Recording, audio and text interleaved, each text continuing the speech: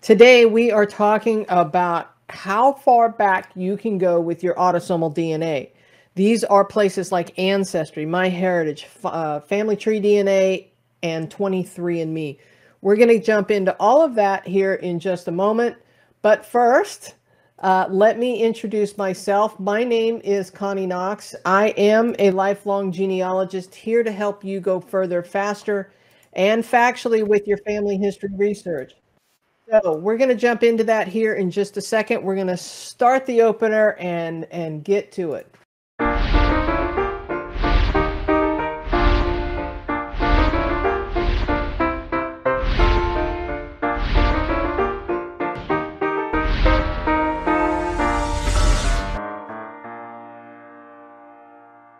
Okay, so how far back can you go with your family history uh, tree using DNA? Now, we're going to kind of rough through some quick basics again. If you have not, if you're not familiar with DNA, we're going to quickly move on. Just keep in mind that if this is your mother, you know, she has 100% of her own DNA. With autosomal DNA, you inherit half, as do you inherit half from your father, right? But when we start thinking about moving back in the tree, you carry about 25% of the DNA from your grandparents, right? And so on. So now, when we get back to the great grandparent level, you are inheriting about an eighth of their DNA, which is a good amount. We can certainly use that for taking the cousin matches from our great grandparents. This is the ideal scenario. These are second cousins that are in your DNA match list that probably share one of these great grandparent couples with you. So, second cousins are fantastic for doing uh, DNA research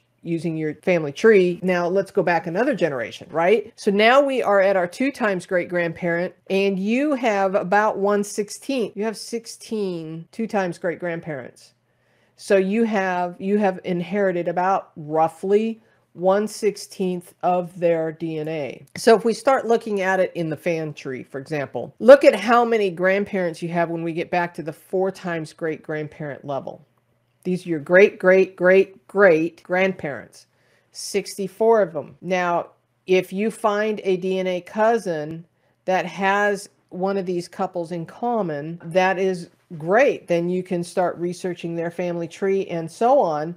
And with that, you can keep digging further. So, how far back can you go? Let's keep exploring this idea. Four times great grandparents when we get back that far, you're looking at about 1.5% DNA that you have inherited from each of those grandparents. If we go back, that's 64 grandparents. So you you are inheriting about 1.5%.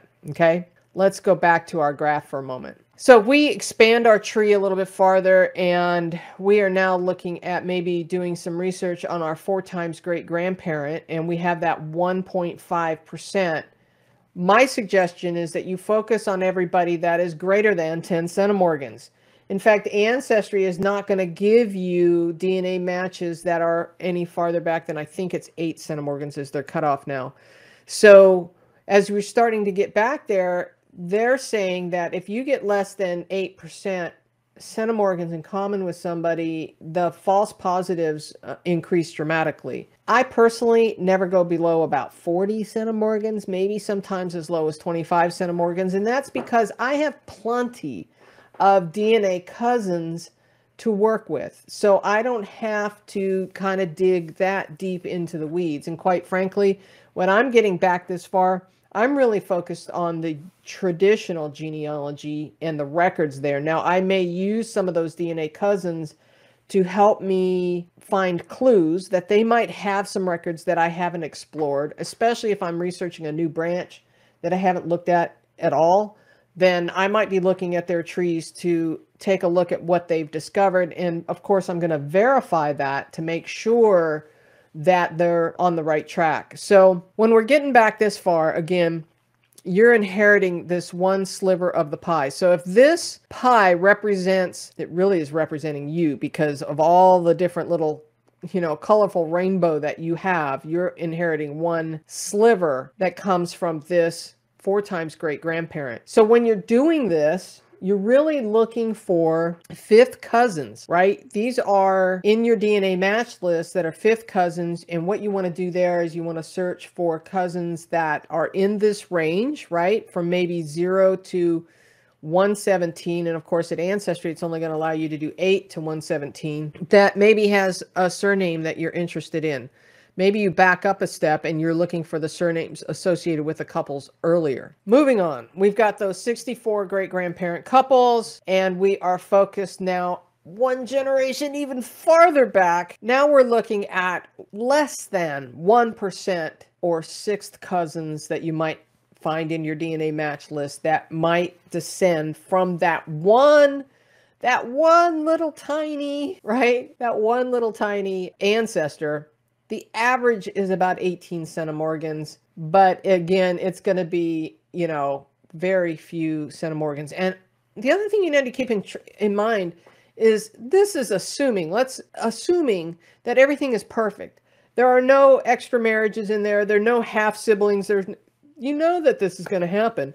When you find cousin matches that you suspect are six cousins, they may even be farther back because there's a half relationship or closer than that because there's a half uh, relationship because the you know one of your ancestors married twice and that cousin descends from one marriage and you descend from another marriage so it, this is one of the reasons why we do traditional genealogy with our DNA research. Okay, I would recommend that you focus on 25 centimorgans or greater. That's just me. And so if you're trying to figure out how you this is a quick and dirty way right how you can determine what ancestors you have in common with your say fourth cousin so if you are finding a fourth cousin in your match list and you're going how is it that we relate? I don't see any common ancestors in the list. How do we relate? Well, I say you count the G's. So this is my G rule. Count the G's. Great, great, great grandparent is a G. Okay. So you count the G's. So you're looking for third great grandparents in common with with any fourth cousin. So if you think you have a fourth cousin, it's going to be roughly, it's just kind of a kind of a quick way to figure out roughly where, how far back they go, it's going to be roughly a third times great grandparent in common with any fourth cousins. Now, again, this could be challenging because it could be that those cousins, you know, again, are either once removed, twice removed, or something along those lines. So it's just a ballpark, gets you in the ballpark, but you got to figure out which of the 16 great great great grandparent couples that this fourth cousin descends from. All right, we're going to take a break, 12 second break, and we'll be right back. Hey, we're going to get back to that video here in just a moment, but I want to let you know that Genealogy TV has a website, a newsletter, and a Facebook page.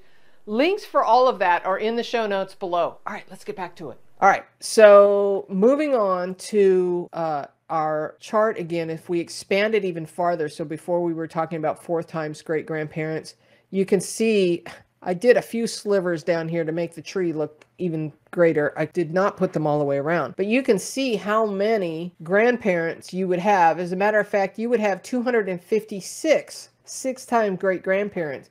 We're definitely less than 1% DNA at that point, okay? So are we starting to lose viability here? Probably okay? We're getting out there and this with six six times great grandparents these would be seventh cousins in common. At this point i seriously doubt you're going to find very many dna cousins that are of quality. So let's say for example we're researching this guy that's in red. This is now a four times great grandparent. All right so this is my great great great great grandfather right? And so we might be wanting to research him. So we can do some quick deducing that it's going to be a fifth cousin that we're going to need to find that descends from this great great great grandfather great great great great grandfather. And so you know it's fifth cousins that we would be looking at with an average of about 25 centimorgans. Well let's take a look at something for a minute. It what what are the probabilities at 25 centimorgans? So this comes from dnapainter.com this is their shared centimorgans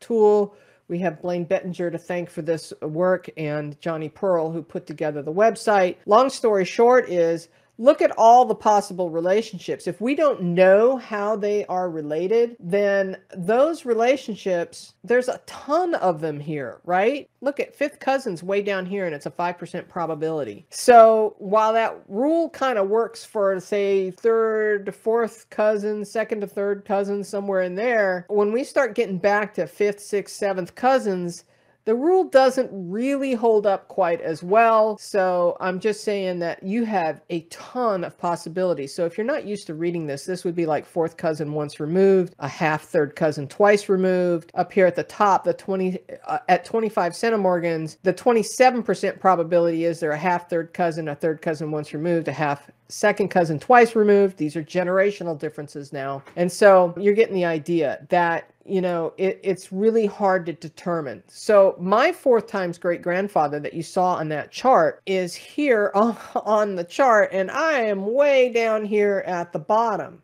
Okay. So you can count the generations, right? So here's parents, grandparents, great grandparents, two times, three times, four times great grandparents. This is this would be uh, that I would have about 1.5% DNA with this person. This particular great grandfather uh, lived between 1766 and 1834. Okay. All right. So again, uh, there he is on the tree chart, and I'm suggesting that, you know, four times greats is probably about as far as you can go reliably, but you could probably go farther depending on how fragmented the relationships are. So if there's half relationships and removed relationships and so on. So factoring about 25 years per generation, you could probably get between 100, uh, 150 years probably reliably, maybe 200 years, maybe a little farther. It just depends on where in the lifespan of that person that we're talking about is. If we're looking at my four times great grandfather, 200 years certainly falls. That would be 1822 or 1823. Sorry, we're in a new year now. Yeah, so a couple hundred years definitely falls within that time frame reliably. Okay, so how far back can you go with your research? I'm suggesting 150 to 200 years. That kind of falls in line with a lot of the other uh, DNA experts that I have talked to. And so that kind of gets you back reliably into the fourth, four times great grandparents, and maybe even into the six time great grandparents. Now, I want to show you something. So let's talk about this again for a second. So if this is now representing this ancestor and you've inherited one tiny sliver of that pie, 164th of that DNA pie, look at how much represented in blue that you did not inherit. So keep this in mind. Think about it this way. If you have a cousin that you know should descend, you know, on the paper trail is descending. You've made the connection, right? You've got the common ancestor between this, you and this probably fifth cousin. And you're saying, how come they're not uh, uh showing up as a DNA match? Well, it could be that they inherited a different sliver. I mean, the odds are great that they inherited a different part. If they're straight up fifth cousins with you, then think about it. They have 63 other slices that they could have inherited from that four times great grandparent that you didn't inherit. So it's the odds are great that you've got thousands of descendants from this four times great grandparent that you don't have a DNA match with. It's actually very likely that you don't have a DNA match. So if you do find DNA matches, consider yourself lucky. You know, Ancestry alone has now, I don't know, 23 million DNA kits out there roughly. And so your odds are going to be greater with them. 23andMe is the next group that has the most DNA kits. However, I find a lot more luck on Ancestry. Okay. So this is one of the reasons why we need to use DNA in combination with traditional genealogy research. We need to verify with records every link in the process. Okay. And so I hope that helps give you some clarity about how far back you can go with your DNA. Now, there is a handout for this episode for the information access level channel members on the YouTube channel, the happy dance level folks at Patreon. The differences between those are that uh, on YouTube, if you join on YouTube, I think it's $9.99 a month and you get all the handouts. Those are going to be in the membership tabs. The happy dance level on Patreon is That's uh, patreon.com forward slash genealogy TV. Those get emailed to you as soon as the next one is released. Any past episodes, like if you're watching this one right now and you decide to join on Patreon, you'd have to go to the posts because it's already been uploaded and you can find all the handouts from past episodes there or you can just buy them individually over on genealogytv.org forward slash handouts. They are a somewhere in the range of five to ten sometimes fifteen dollars for the handout all of that helps support the channel so i do appreciate all of the members there those are the the places that you can find the handouts also know that i have done a ton ton of videos on DNA. These are just a few of them, and so you can find more there. I've even done a playlist. This is the short playlist. There are actually like 40 videos on DNA on the YouTube channel here at uh, Genealogy TV. And so if you want to check out the playlist, um, I will leave links for everything that we were talking about, how to get the handouts, some of the other episodes, some of these other DNA episodes. All of that will be in the description box below the video on the YouTube channel, as well as I got to give a, uh, props to Diahan Southard. If you want to take a really deep dive into DNA, I highly recommend her courses. I have put my affiliate link here for you if that is something of interest to you. I have taken her skills workshop and her Y-DNA course. Excellent courses. They're multiple weeks long. I can tell you there's a lot of work involved, but you are going to get a deep dive into her uh, methodology for doing uh, DNA research. I certainly teach a lot of the basics here on the YouTube channel. You got a lot you can watch there. But if you really want to get into it and get your fingers in that pie deep, go check out her courses. They really are fabulous. And I can't say enough good things about Diahan Southard. She's done several episodes here with me on the YouTube channel. And with that, I am I'm going to say goodbye, and we will see you in the next episode. And with that, hasta luego.